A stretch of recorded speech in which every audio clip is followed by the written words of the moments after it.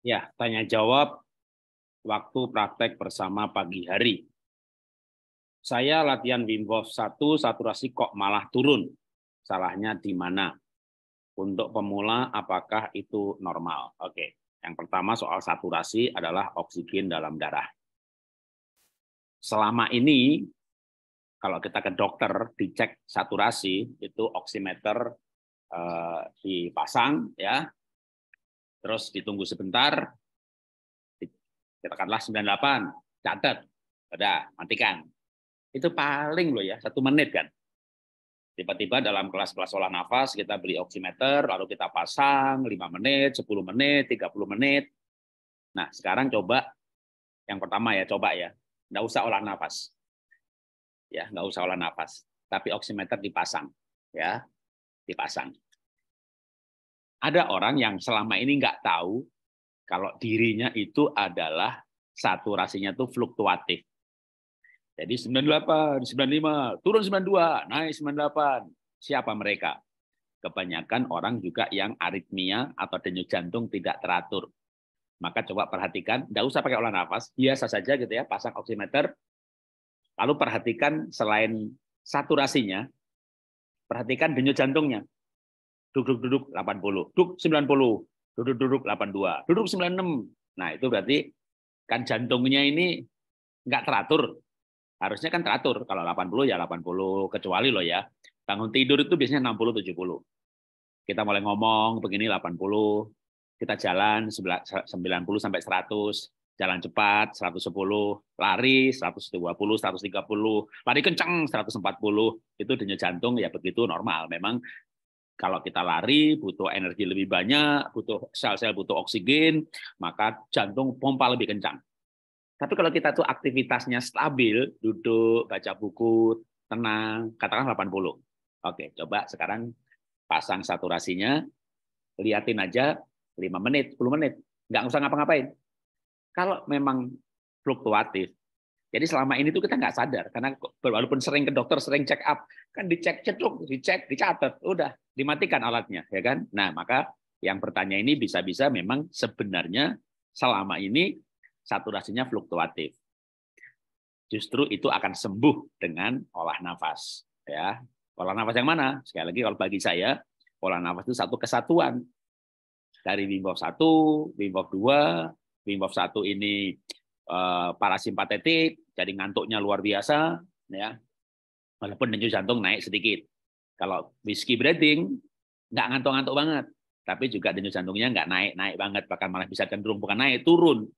Makanya modul yang olah nafas untuk darah tinggi yang diajarkan whiskey breathing, ya. Tarik 4, buang 8, tarik 3, buang 6, lalu tekanan darahnya turun-turun-turun dalam 5 menit aja ada pasang oximeter, lihat tekanan darah, whiskey breathing, tekanannya turun. ya. Nah,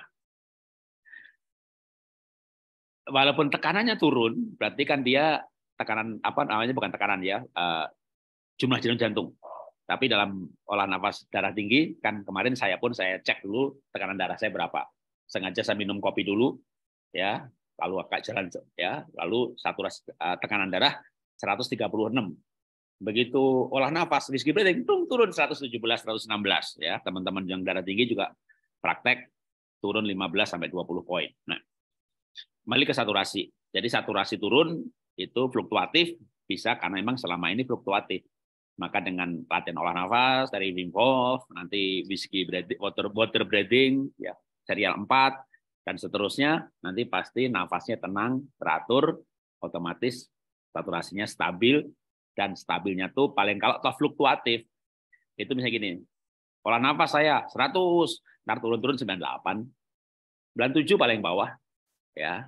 Nanti naik lagi 98 olah nafas sebentar 100 saya dulu 95 94 olah nafas 96 dan 96 turun lagi 94 95 gitu ya. Tapi sekarang nah ya toh fluktuatifnya itu nggak mungkin orang stabil terus gitu ya kecuali orang yang betul-betul sehat anak kecil nggak punya utang nggak punya tagihan nggak punya pikiran jelek nggak punya buru-buru nggak punya tugas nggak punya deadline nggak ditunggu orang lain.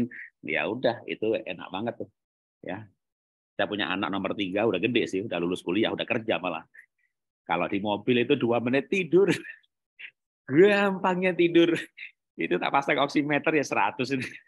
Nggak pakai olah nafas pentok 100. Stabil ya 100. Ngalam lagi dites lagi 100 lagi gitu ya. Aduh, hatinya tenang banget itu anak gitu ya. Gampang tidur, gampang ketawa. Tapi juga dia olahraganya panjat tebing, diving, dia muang thai, dia nge-gym, ya udah nggak pakai olah nafas udah 100 ya. Tapi tetap olah nafas dibutuhkan kan olah nafas bukan cuma saturasi ya. Interleukin interleukin gimana? Pegel-pegel gimana? Linunya gimana? Itu kan karena kurang interleukin ya. Jumlah sel darahnya gimana? Nah, itu kan dengan olah nafas Wim itu bukan cuma saturasi dan denyut jantung ya. Sel darahnya naik ya mencapai normal. Oke saya lanjutkan lagi saya kanker paru-paru kena batuk tidak hilang-hilang oke tadi saya bacanya kurang lengkap ya kanker paru-paru makanya ada kankernya itu ya nah Segala obat dan herbal sudah diminum. Kalau sudah segala obat, ya sudah. Sekarang berarti coba yang tanpa obat. Dengan siapa? Ya dengan Tuhan, dengan makan sehat. Yang ini kan ada CE, ada kanker paru-paru, ya. Kanker paru-paru, ikuti pola makan kanker yang modul 20 ya. 1, 22, 23, 24, 25 ya. Itu kan banyak sekali modul-modul mengenai makan kanker ya.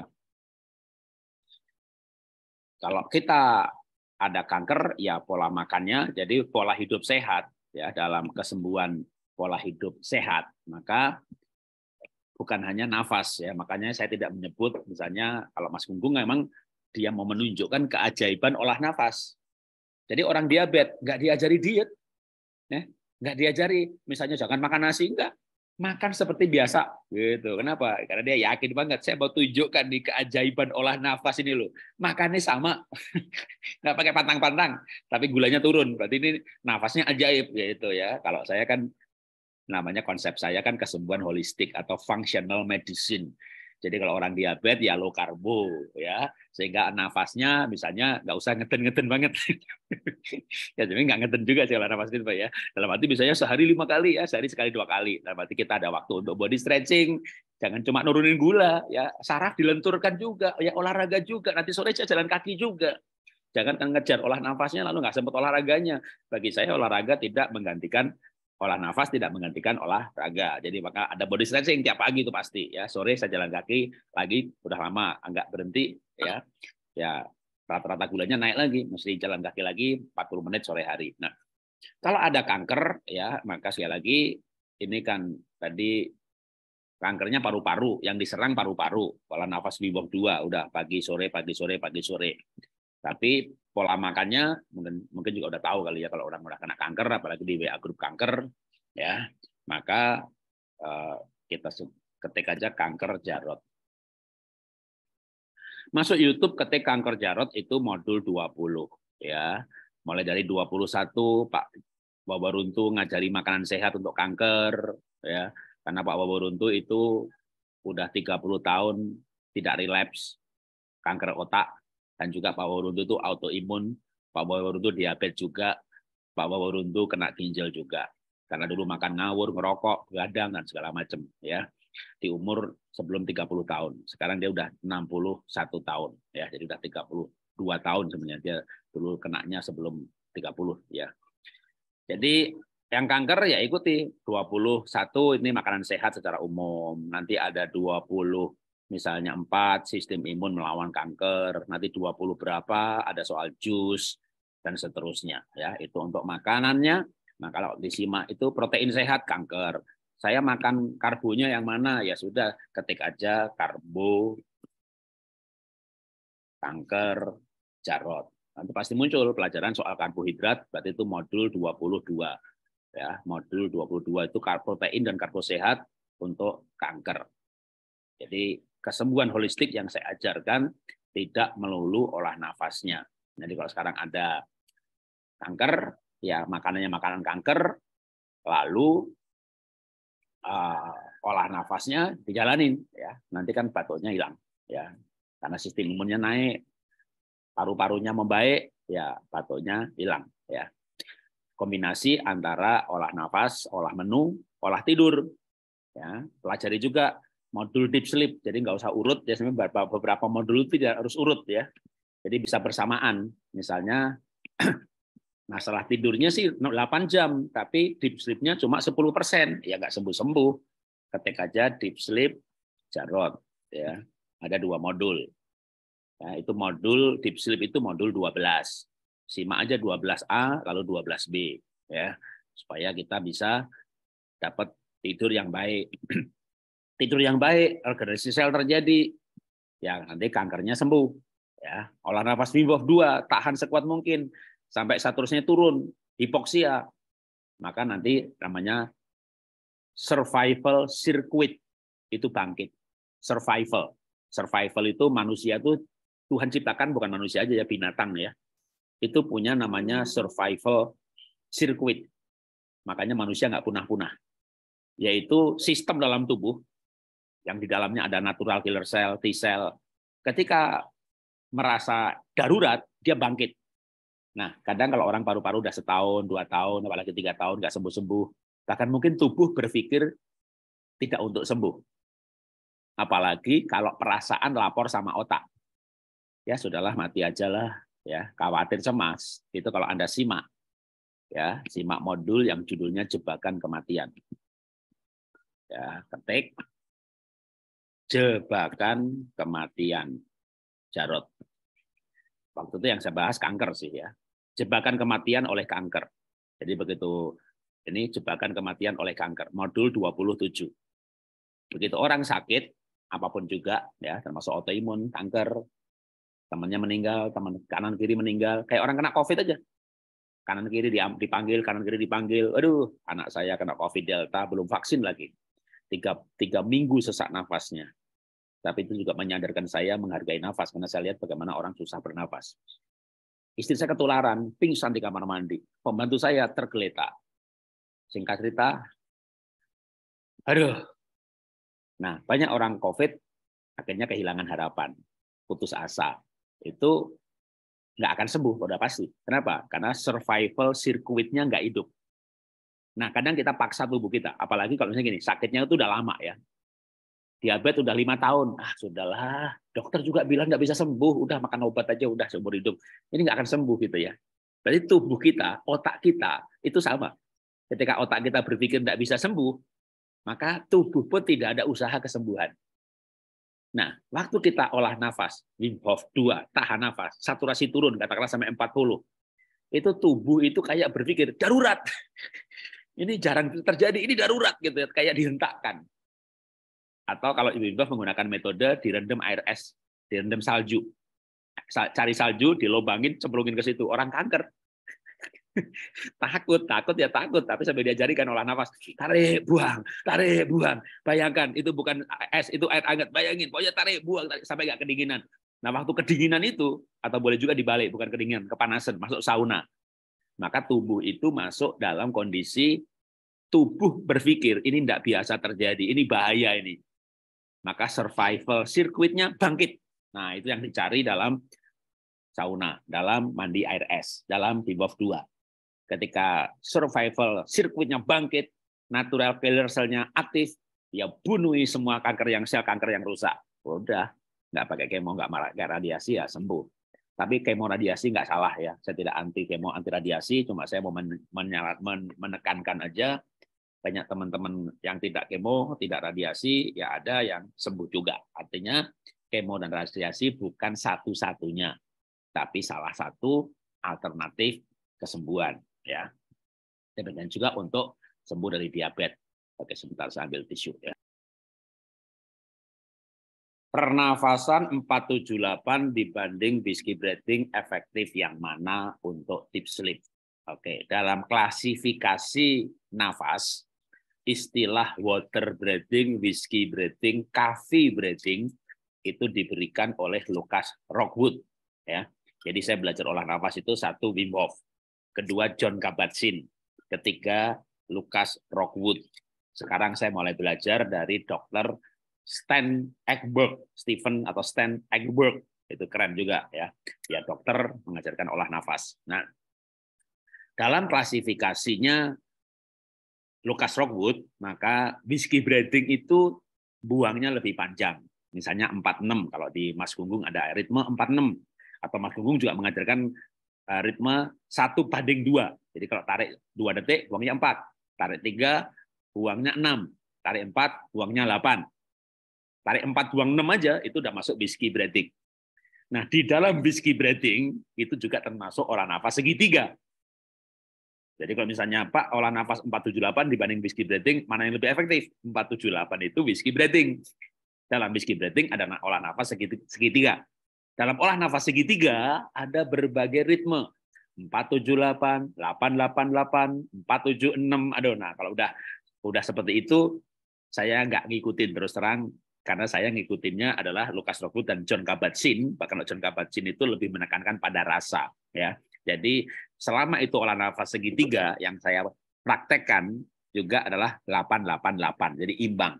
Tarik 8, buang 8, 78 ya. Sedangkan mau ritme-ritme yang lain Anda bisa belajar di Google atau Anda belajar di olah nafas ritme ya. Terus terang kalau olah nafas ritme memang sebenarnya kalau punya sakit tertentu. Nah, saya sakitnya kan cuma diabetes. Terus terang saya mengajarkan terutama yang saya hidupi ya. Karena kalau yang dihidup itu nggak pernah lupa.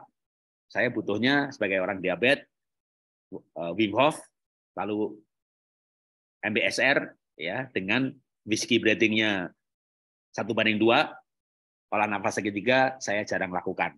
Nah, itu aja sembuh ya sudah gitu ya. Tapi waktu saya dulu awal-awal menyembuhkan diri untuk diabetes, saya juga rajin olah nafas segitiga yang imbang sama kaki 888. Selanjutnya ada berbagai macam jenisnya banyak banget.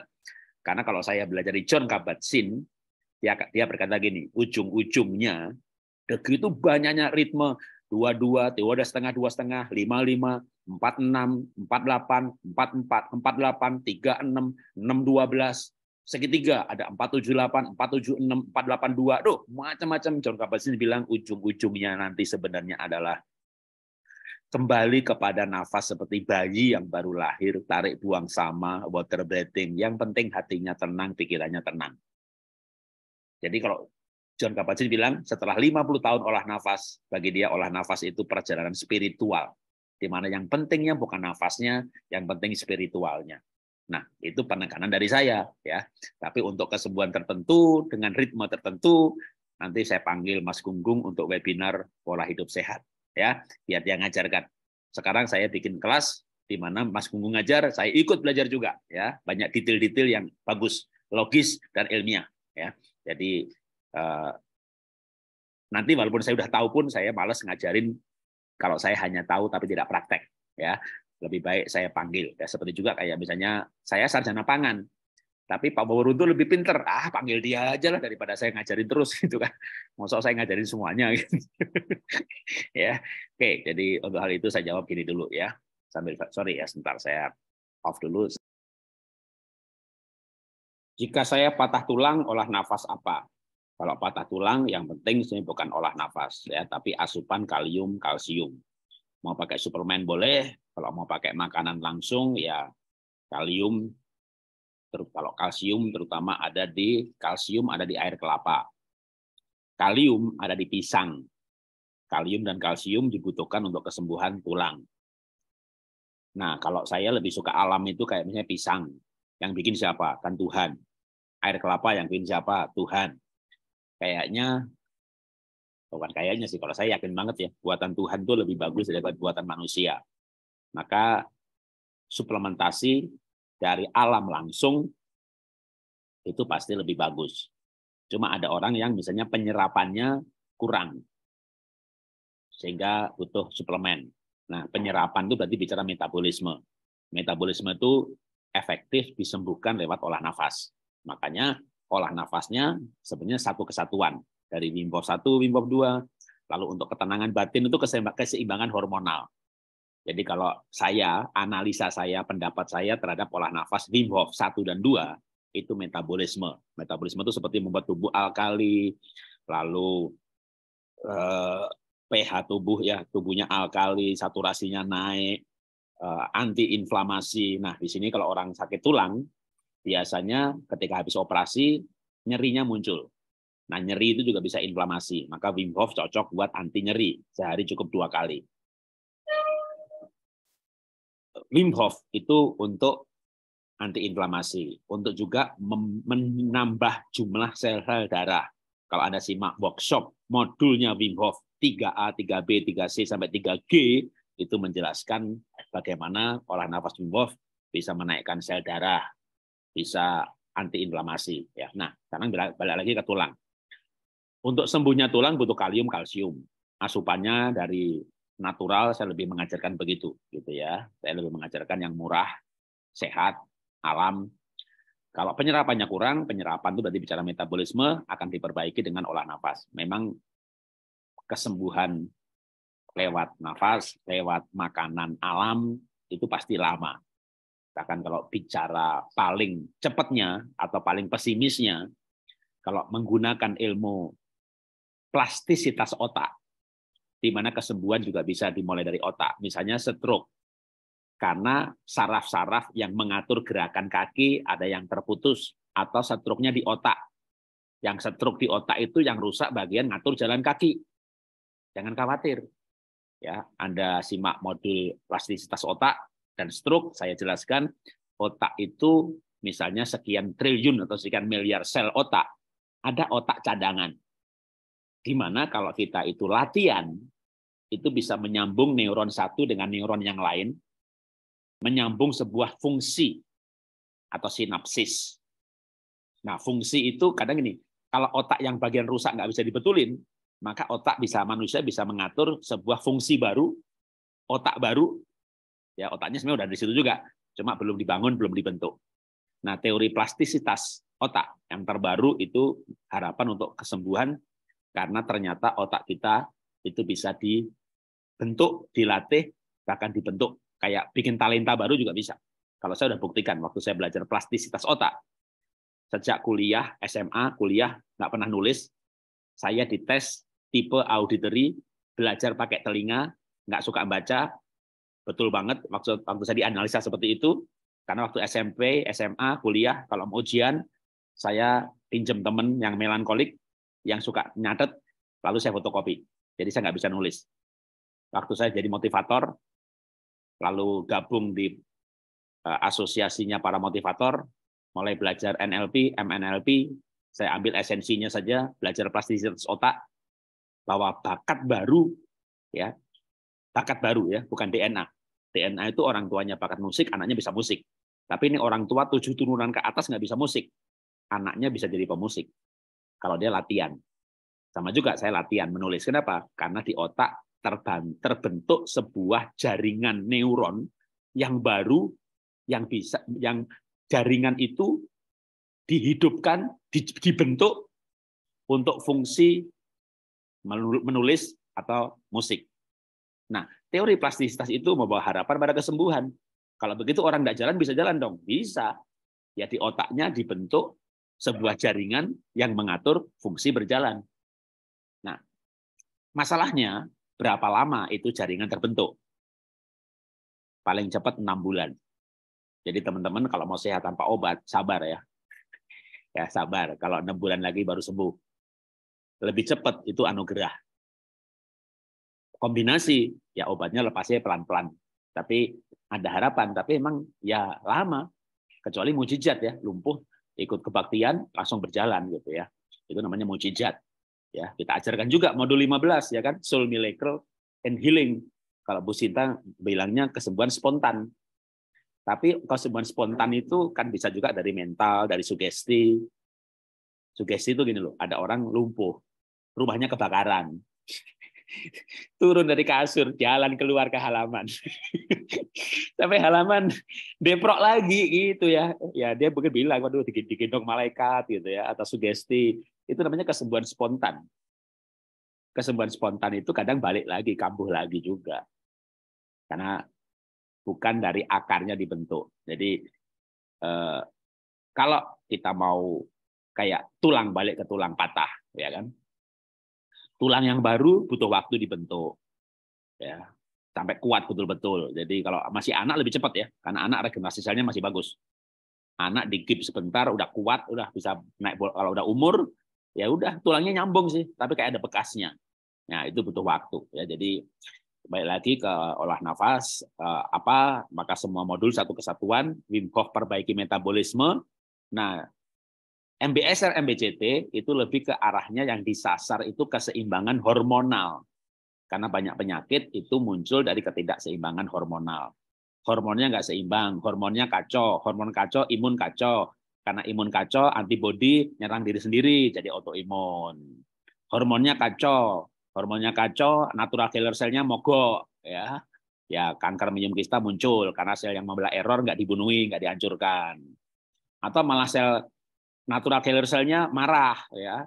Sel yang bagus diserang, ya udah kayak autoimun juga. Maka autoimun pun jenisnya macam-macam. Pertanyaannya yang dijawab sendiri oleh John Kabat-Zinn, seorang dokter, seorang psikiatri, dokter dari Fakultas Kedokteran MIT. Kenapa hormon kacau? Kenapa hormonnya kacau? Maka jawabannya karena perasaannya kacau. Cemas, khawatir, curiga, cemburu, dikhianati, peristiwa traumatis, suami selingkuh, perusahaan bangkrut, anak memberontak, mertua meres, mertua membuli, dan seterusnya. Masalah kehidupan. Maka simak juga modul saya, judulnya apa? Sekolah Kehidupan. Supaya kita sudah olah nafasnya tenang, itu teknik nafas kan. Makanya John Kabat-Zinn bilang, ujungnya adalah perjalanan spiritual. Nanti kalau sudah sampai di perjalanan spiritual, nanti nafasnya bisa apa saja. Mau 478, mau 888, bahkan tidak usah 478, nggak usah segitiga. Water breathing, apa itu water breathing? Tarik buang jumlahnya sama. Kembali jadi kayak senci yang sudah ratusan tahun dan juga menyembuhkan banyak orang. Titi puspa itu pakai senci itu. ya Tarik buang jumlahnya sama, pelan-pelan, nikmati. Nah sebenarnya gini, gini ada orang yang kena kanker lebih banyak dipicu karena makannya ngawur. Ya, begitu makannya dibetulin, sembuh. Ada orang sakit, makannya sehat nih. Kayak Gavrila kan bilang, dia bilang sebelum kena kanker dia makannya sehat gitu. Tapi dia ambisius, stres. Makanya begitu olah nafasnya yang arah membetulkan stres, ya kankernya sembuh. Jadi sebenarnya orang sembuh dari kanker pun atau dari sakit pun kayak diabetes. Kenapa? Turunan ya udah terima aja anugerah warisan ya kan namanya turunan ibu saya diabetes ya saya mewarisi gitu tapi kalau misalnya nih bapak ibunya nggak ada yang diabetes nih. Ya berarti hanya pola makan. Nanti pola makan dibetuli wah gampang banget itu. Begitu makan sehat aja sembuh kan gitu kan. Jadi tiap orang penyebab sakitnya beda-beda. Ada yang pola makannya bener nih. Tapi dia mulai kena diabetes. Nah, bapak saya tuh. Bapak saya nggak diabetes. Ibu saya diabetes dari umur 35 suntik insulin minum obat. Bapak saya enggak umur 70 masih kerja. Kerjanya jaga jaga museum di Solo, Radia Pustaka. Menggantikan Bahadi yang masuk penjara karena menurut saya ya dikambing hitamkan. Bapak saya menggantikan. Terus di museum kan ada barang yang hilang sebelum bapak saya jadi kepala museum. Tapi pada zaman bapak saya menggantikan itu, mahasiswa demo, tabuh kentongan, ya kan, maling, maling, bapak saya di BAB, bawa ke kantor polisi. ya singkat cerita, bebas murni wong ke, barang hilangnya ya. Jadi bukan hilang ya, yang asli diambil, dibersihkan, lalu dikembalikan. Waktu dikembalikan itu diganti yang palsu gitu ceritanya itu kira-kira begitu ya. Ada pihak tertentu yang menawarkan jasa membersihkan kira-kira gitu ya. Terbukti itu terjadi sebelum bapak saya. Jadi bebas murni ya udah. Tapi gara-gara itu diabetes gulanya 500, 600, sudah naik kagak turun-turun. Nah, apa itu? Diabetesnya dipicu oleh apa? Stres, ya kan? Ya maka ketenangan batin yang menyembuhkan, nggak usah pakai diet, ya makannya sama aja. Karena yang memicu, jadi yang memicu sakit itu beda-beda. Makanya kita harus eksplorasi. Kalau ikut modul demi modul, nanti akhirnya pasti anda akan ketemu kalau ikutin ceramah saya terus itu ya. Berarti saya sakit karena ini nih gitu ya. Modul inner healing tuh simak gitu ya. Atau yang citra diri self image nah berarti saya yang ini nih pemicunya. Ya kalau istilahnya ibu Sinta itu uh, cinta dari Tuhan ya pesan cinta dari Tuhan untuk penyakitku. Sebelum pesannya ketemu mana bisa sembuh? Kambuh lagi kambuh lagi. Sampai nanti nangkep nih pesan Tuhan nih. Iya supaya saya jadi orang yang baik. Kemarin saya jahat nih maka gulanya naik turun gitu ya. Udah begitu baik kan sembuh. Mau minum obat apa aja hatinya jahat, udahlah gulanya naik terus lah akan gitu kan. Mau minum obat kayak apa pun bapak saya di BAB selama proses begitu ya gak turun-turun. Mau minum obat sampai dosis berapapun ya nggak bisa turun. Prosesnya selesai, bebas murni, dinyatakan ya sembuh sendiri kan gitu. Jadi makanya itu perlu men mencari hikmat. Tuhan izinkan saya jadi sakit itu pemicunya apa ya gitu loh ya. Itu nggak mudah. Karena bisa juga malah nambah sakit. Seolah-olah kayak kita itu disalahkan gitu kan. Makanya John kabat juga bilang nggak boleh self judgment, nggak boleh menyalahkan diri sendiri. Kalau toh akhirnya ketahuan punya salah, maka selesai. Justru diselesaikan. Ya selesai itu ya gini ya sudah. Sekarang yang penting kan saya hidup lebih baik lagi. Gitu ya. Jadi malah berterima kasih Tuhan gara-gara diabetes ini saya jadi orang yang sabar. Kita berterima kasih dengan sakit yang kita alami. Itu namanya masalah selesai. Ya, masa lalu selesai. Maka nah hal, -hal seperti ini itu disimak diajarkan di modul berapa? Modul 15, 16, 17, modul 9. Itulah kenapa sakitnya tulang, sakitnya diabetes. Anda perlu juga modul yang namanya inner healing apalagi minum kista kanker autoimun. Aduh itu modul yang mutlak dan wajib ya. Mutlak dan wajib. Oke, saya lanjutkan lagi. Waktu tarik nafas, kenapa hidung terasa dingin? Ya, itu biasa. Dingin, kesemutan, keringingan, ya itu masuk dalam simptom daftar. Kalau di modul workshop satu itu diajarkan, ya itu hal yang wajar. Nggak perlu khawatir, bahkan sampai kesemutan, sampai ada kayak semut yang bergerak ya itu nggak masalah ya karena kita pertama kali tubuh bereaksi bisa penyebabnya bisa macam-macam. Bisa oksigen yang berjalan lancar lalu muncul simptom atau rasa. Bisa ada penyumbatan ya pembuluh darah bisa juga. Bisa juga pembuluh darahnya melentur. Karena kalau anda simak di modul bagaimana terutama Wim Hof ya waktu saya menjelaskan mengenai terap teori hipoksia oleh David dan Segmenta itu ada tiga orang ya yang memenangkan Nobel mengenai teori hipoksia. Lalu ada researcher, doktor, ya PhD yang menjelaskan olah nafas Wim Hof dengan teorinya Nobel mengenai hipoksia. Nah, itu di antaranya olah nafas Wim Hof itu melenturkan dan meng, ini bukan membesarkan ya, lentur. Jadi kayak kayak mengembang gitu. Nah, waktu mengembang itulah bisa kayak keringingen atau kayak dingin, di mana terjadi pelenturan pembuluh darah dan seterusnya. Ya, kalau ada simak di modul urut, nanti akan ketemu penjelasan-penjelasan yang lengkap. Ya. Berapa jarak waktu olah nafas ini selesai makan? Ya, Oke, kalau baru makan ya satu jam setengah kira-kira biar dari lambung dia pindah ke usus. Kalau paling bagus sebelum makan, ya. Kalau olah nafas sebelum makan. Kalau Indonesia Tengah, Indonesia Timur, luar negeri, di mana kita 5.30 itu udah jam 9, udah selesai sarapan, ya Anda olah nafas sendiri, mungkin login hanya untuk uh, bertanya. Ya. Pak, Pak, tubuh saya berasa lebih hangat jika whiskey breathing. Ya, itulah kenapa namanya whiskey breathing. Ya. Water breathing itu tarik buang sama kayak senci, tarik buang sama kecuali sensi modifikasi karena ada orang yang juga mengajarkan ya dia pengajar sensi tapi dia nggak bilang ini sensi ini apa gitu ya. Pokoknya tahu pasiennya begini oke segitiga. Nah banyak pengajar-pengajar olah nafas untuk kesembuhan itu memang betul-betul menguatkan batinnya. Ya batinnya kuat. Jadi pasien ya cuma ditumpangi tangan aja dipegang tangannya atau ditumpangi tangan dipegang tangannya kamu 478 gitu. Tapi pasien yang lain sama-sama kanker, kamu 88. Pasien yang lain gitu ya. Jadi beda-beda. Tiap orang itu beda-beda. Ya. Kalau mau ilmiah, saya cocoknya mana? Yaitu ikut camp yang saya dengan Mas Gunggung ya. Itu walaupun tapi yang kebugaran baru aja tutup pendaftaran ya. Ada lagi nanti kanker. Itu akan dites. Teman-teman akan dites dengan alat HRV, EEG untuk menentukan ritme yang cocok. Kalau saya kan nggak ngajar-ngajarin begitu. Nah, maka saya ajarkan apa? Body scan aja 10 hari berturut-turut. Sampai kepekaan itu muncul. Ketika kepekaan itu muncul, Anda tahu yang cocok yang mana. Nah, itu juga yang diajarkan oleh John Kabat-Zinn. Maka dia modul satu itu body scan. Ya, body scan itu menjadi modul satunya John Kabat-Zinn. Itu udah dua minggu, tiga minggu, ya itu aja. Tiap praktek pagi, ya itu aja. Emang olah nafas itu udah sabar. Setelah kepekaan ketemu yang cocok, nah ya itu kan makanya sampai sampai nanti tubuh sembuh itu bisa enam bulan.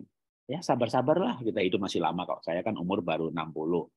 Kalau enam bulan lagi sembuh katakan, habis itu kan masih 60 tahun lagi. Gitu aja mikirnya gitu ya. Jadi memang tapi yang pasti begitu Anda ikut program, Anda nggak bertambah parah. Misalnya saya kena kanker nih, vonisnya 6, 6 bulan lagi mati. Ya kalau Anda termakan oleh vonis itu Anda mati beneran. Mohon maaf ya, tapi Anda nggak boleh termakan oleh vonis. Karena itu itu simak modul yang namanya jebakan kematian. Anda harus punya harapan sembuh. Saya bisa sembuh.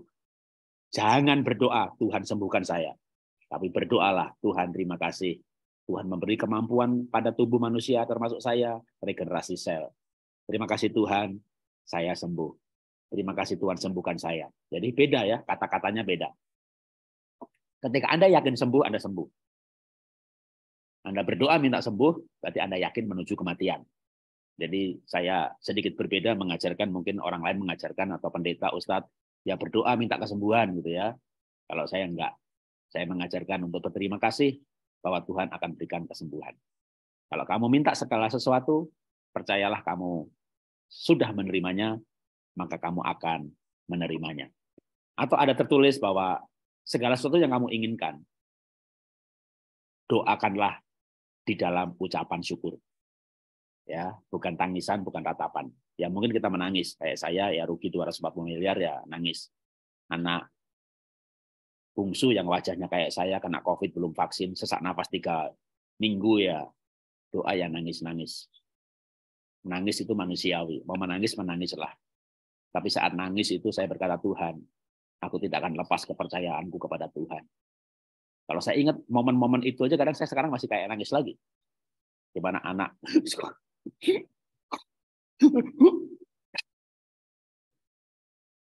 nafasnya tersengal-sengal. COVID Delta, rumah sakit penuh semuanya. Pingsan di lantai, badannya dingin. Saya nggak tahu dia hidup atau mati sebenarnya.